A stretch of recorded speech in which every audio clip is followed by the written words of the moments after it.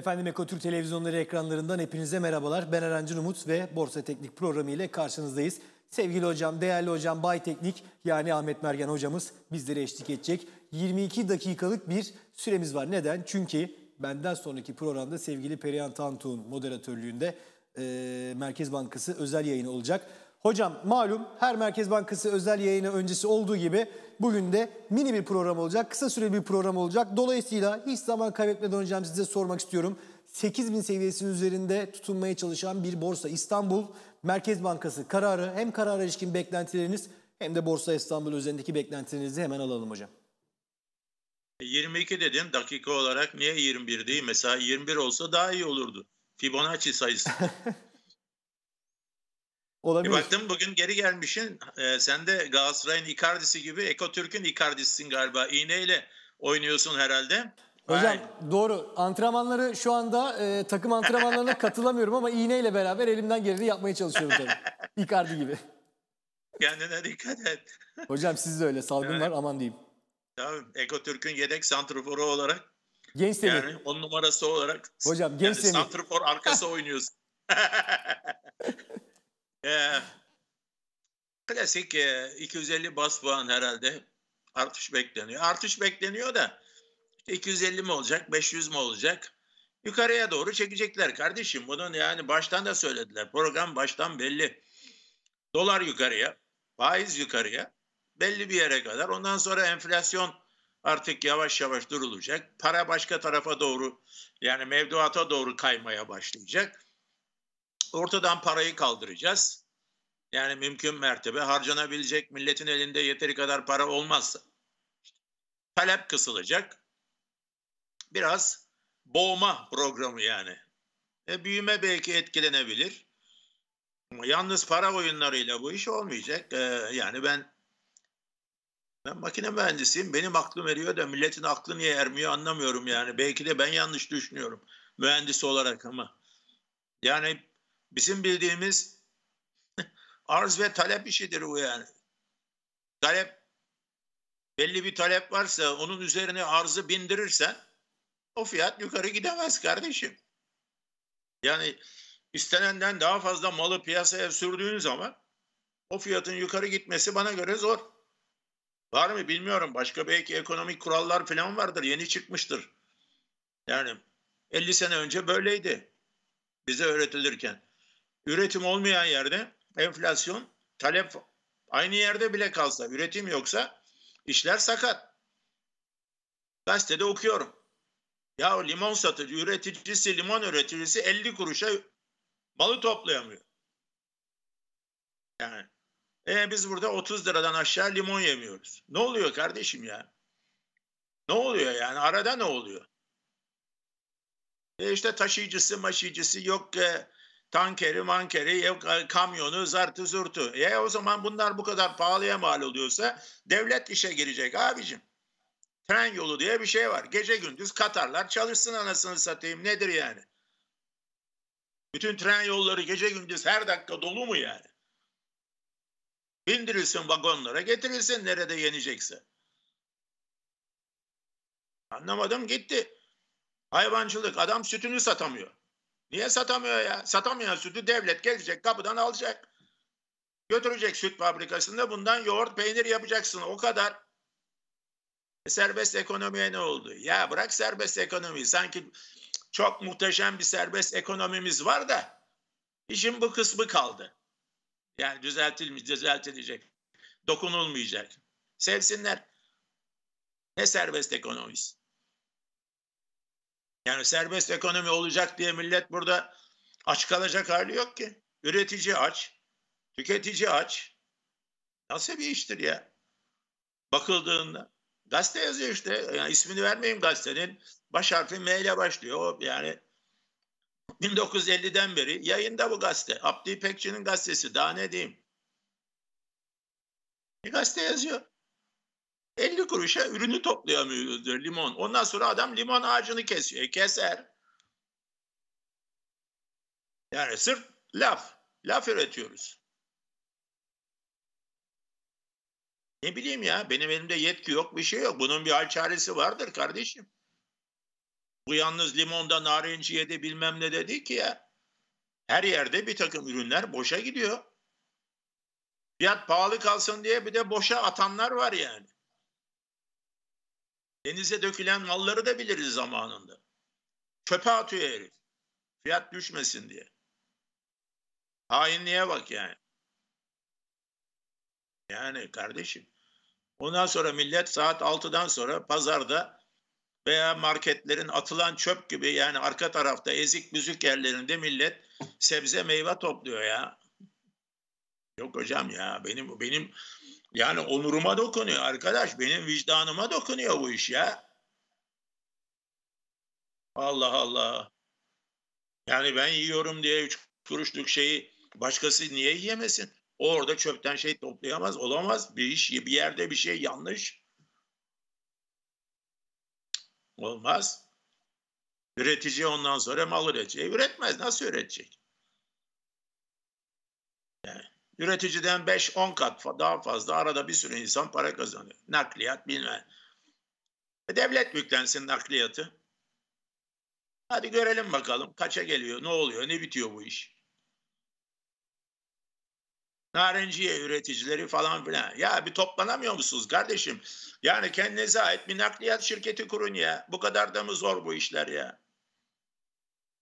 Bu kadar üretici var. Kurun bir nakliyat şirketi. Bütün mallarınızı o nakliyat şirketiyle götürün getirin. Ondan sonra diğer tarafta da fiyatlar doğal olarak iner aşağıya. Rekabet var. Herkes esir. Yani 35-40 liradan aşağı mandalina yok. Mandalina yerinde 5 lira. Ya 30 lira 40 lira nereye gidiyor aradaki? anlamış değilim. Ya biliyorum da işte öyle lafın gelişi söylüyorum anlamış değilim diye. 70 senedir ne mal olduğunu biliyoruz herkesin. Neyin ne olduğunu biliyoruz. Herkes biliyor. Herkes biliyor. Öyle gidiyor. Neyse endeks tırmanmaya çalışıyor. Yani geçecek gibi 8084'ü. Bankalar mankalar bunu atlatacaklar kardeşim yukarıya. Bu bankalar burada durmaz. Dilimde tüy bitti. Çınar ağacı oldu zaten. Artık yani bankacı lobisine dahil ettiler herhalde bu kadar konuştuğuma göre banka endeksini ki bende banka yok. Yani ama görünüş itibariyle fiyatlar toparlanmaya çalışıyor kardeşim. Yukarıya doğru niyetleniyor. Ters bir olay olmazsa ama uçup kaçacak bir hali de yok. Yani şu anda bu ortamda uçup kaçmaz. Beklentiler satın alınıyor. Geleceğe dönük. Her zaman dediğim gibi yani yılbaşına kadar 7400, 8400, 500 gider gelir gibi. Buralarda dolaşır. Geçelim. Evet haftalık grafiğe 21 dakikaya ne sığdırabilirsek artık. Evet haftalık grafiğimiz geliyor hocam. Buyurunuz. Ortalama 7478'de burada dolaşıyor. Kırmızının altına inmediği sürece sıkıntı yok. Uzun vadeli yatırımcı kırmızının altına inmediği sürece telaşlanmaz. Adam iki sene tutacaksa belki bu endeksi 25 binde satacak. Yani işler normal haline dönerse, rotaya girerse, olumlu sonuçlar yavaş yavaş gelmeye başlarsa, not arttırımıydı, şuydu buydu bunları takip ederse, bu endekste hayalimiz var diyoruz. Bir hayalimiz var. 500 dolara gidecek bu endeks.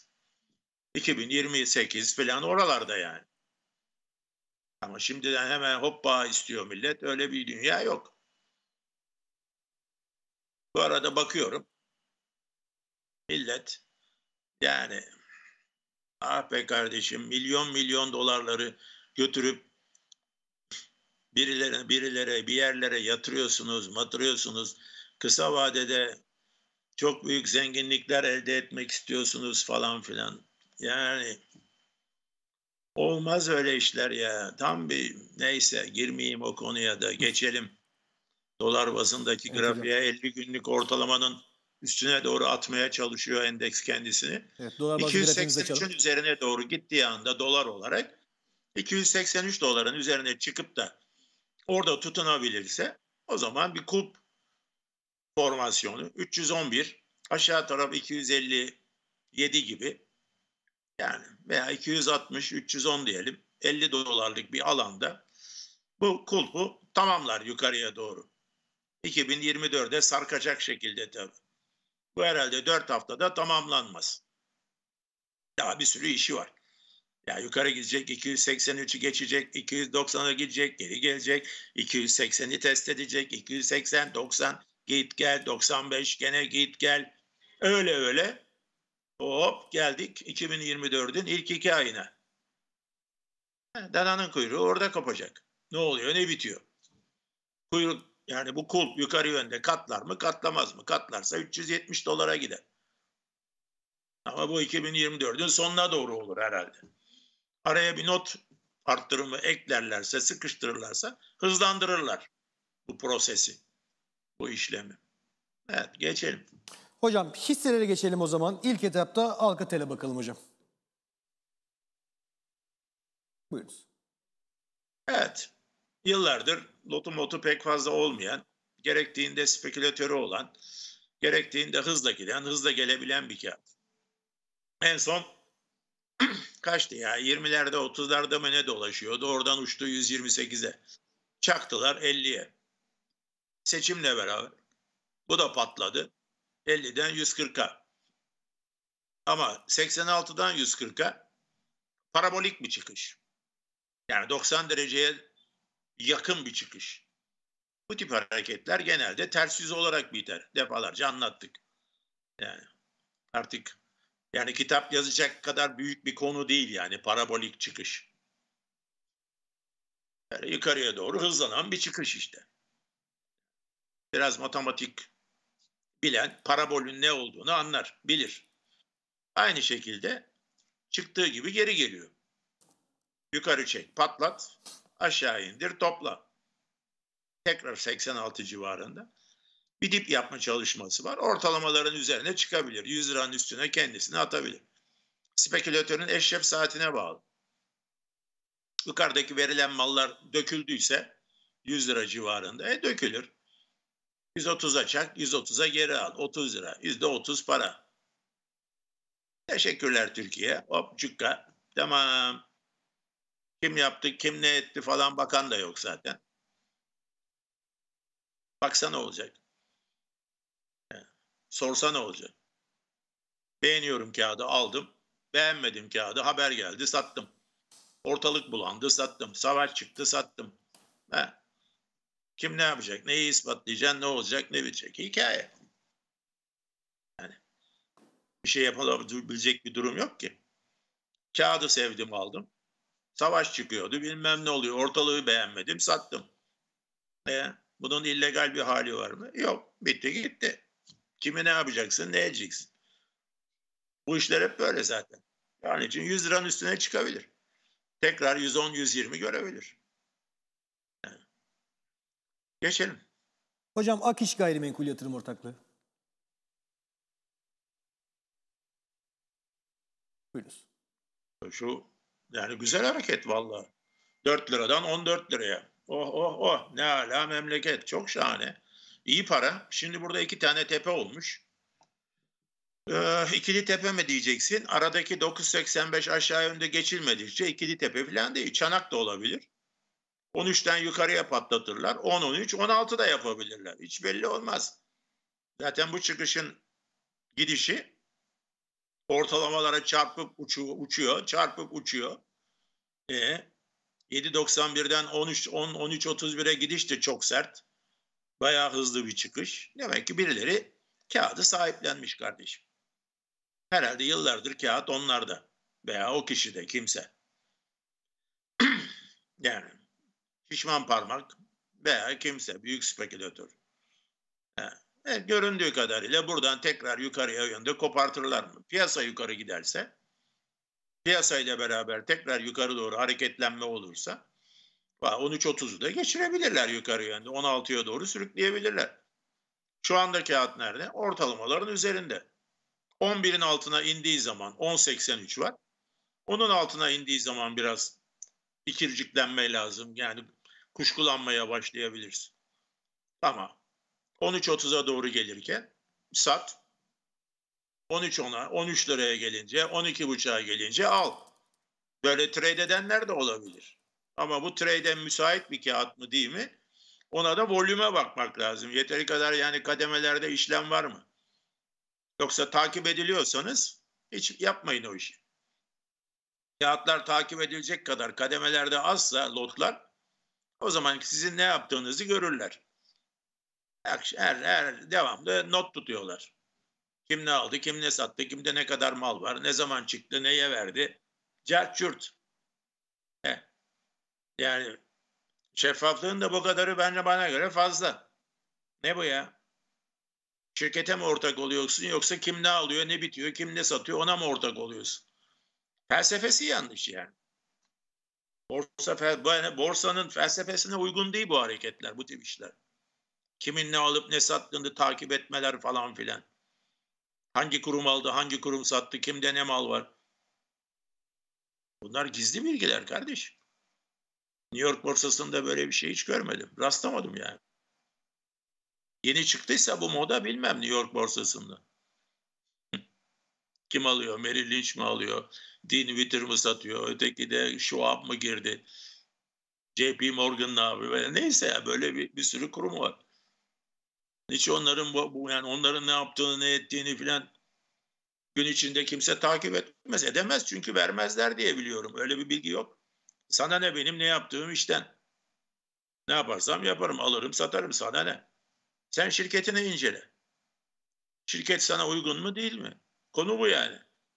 Benim ne yapıp ne ettiğim değil. Ama bizde böyle çalışmıyor işler. Tam tersine. Geçelim. Hocam Albaraka bir diğerisiniz. E, bankalar tutunuyor. Yukarıda kaldı. Çanak tamamlandı, geçildi. Şimdi bir üçgen içinde gibi görünüyor.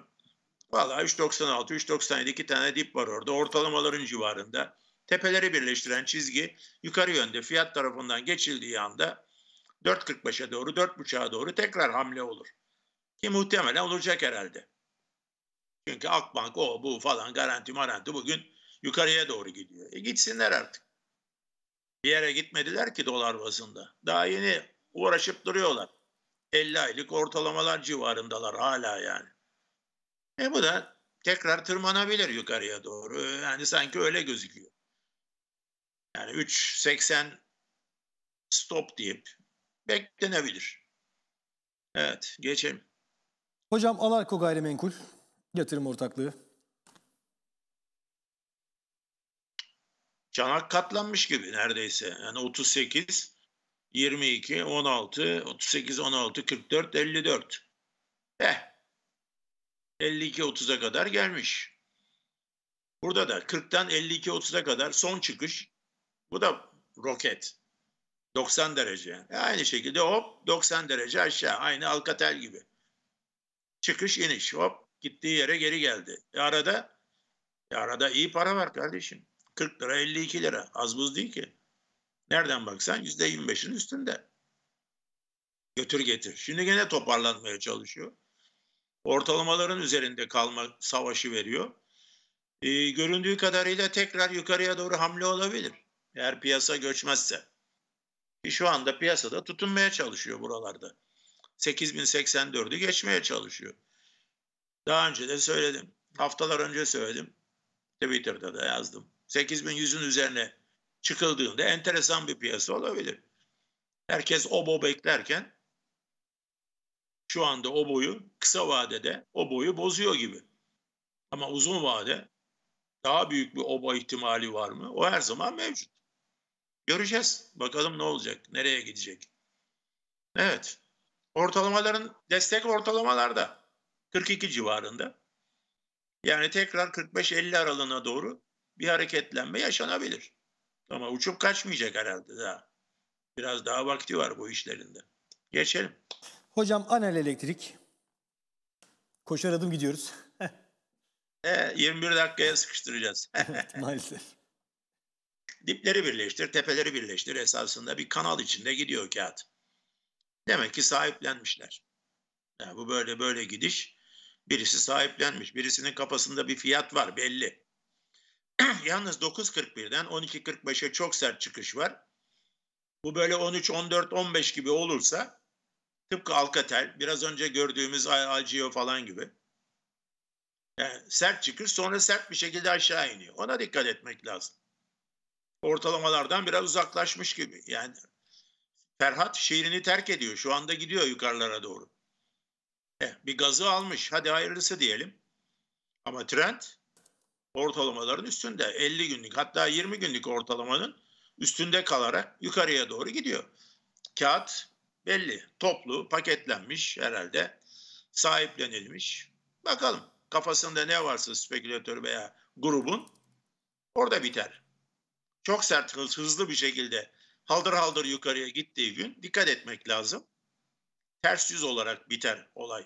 Tavana gider gibi yapar. Tabana yakın yerde kapatır. Geçmiş olsun. Hadi bakalım. Ondan sonra pansuman odasına almak lazım yatırımcıları. Evet geçelim varsa da. Hocam daha var ama daha zaman yok. Maalesef süremizin sonuna geldik. E, çünkü Merkez Bankası özel yayınımız gerçekleşecek. Hocam çok teşekkür ediyoruz. E, inşallah önümüzdeki hafta pazartesi günüyle beraber e, bir saatlik o dolu dolu yayınlara devam edeceğiz. Az önce dediğim gibi İnşallah. Merkez Bankası özel yayın olduğu için kısa tutmak zorunda kaldık. Çok teşekkürler Hadi hocam. bakalım. Evet efendim değerli hocamız sevgili Ahmet Mergen ile beraber Borsa Teknik, mini Borsa Teknik programını burada sonlandırdık. Yayınımız sevgili Perihan Tantu moderatörlüğünde Merkez Bankası özel yayınıyla devam ediyor. Kısa bir reklam arası bizden ayrılmayın.